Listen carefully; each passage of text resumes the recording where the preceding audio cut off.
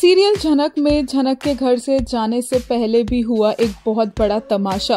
अब झनक घर से जा रही है और अनिरुद्ध को उसने बोला है कि वो अर्शी का ध्यान रखे और ये बात अनिरुद्ध को पसंद नहीं आती है जब झनक बार बार उसका नाम अर्शी के साथ लेती है।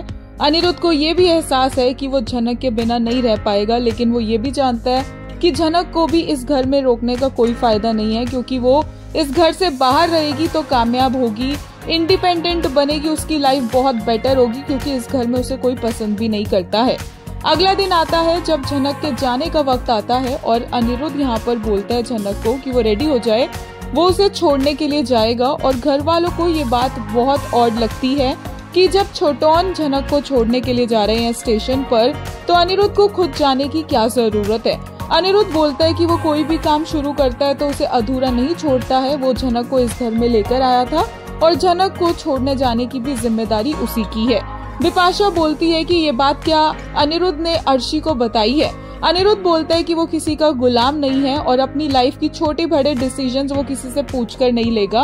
वो ही झनक को छोड़ने जाएगा, जबकि झनक भी यहाँ पर अनिरुद्ध को बहुत बार मना करती है कि उसे जाने की ज़रूरत नहीं है।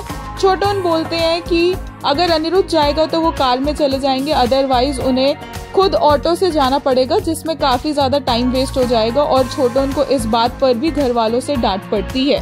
खैर एट दी एंड सब मान जाते हैं और अनिरुद्ध की जिद पूरी होती है और वही निकलता है झनक को छोड़ने के लिए, जिससे पहले झनक सभी का आशीर्वाद लेती है और दादू भाई बहुत सारा आशीर्वाद देते हैं झनक को कि वो लाइफ में अपने बहुत कुछ अच्छा करे और उसे अच्छा जीवन साथी मिले और अच्छा परिवार मिले। और इसी के बाद अपू दी यहाँ पर काफ़ी ज़्यादा रोने लग जाती है क्योंकि उन्हें फाइनली रियलाइज़ होता है कि झनक एक्चुअल में जा रही है और कभी नहीं आएगी।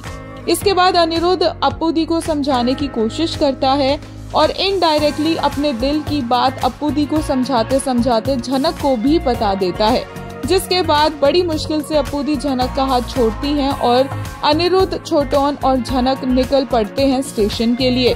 स्टेशन पर जाकर एक बहुत ही इमोशनल मूवमेंट भी देखने को मिलेगा अनिरुद्ध और झनक के बीच में।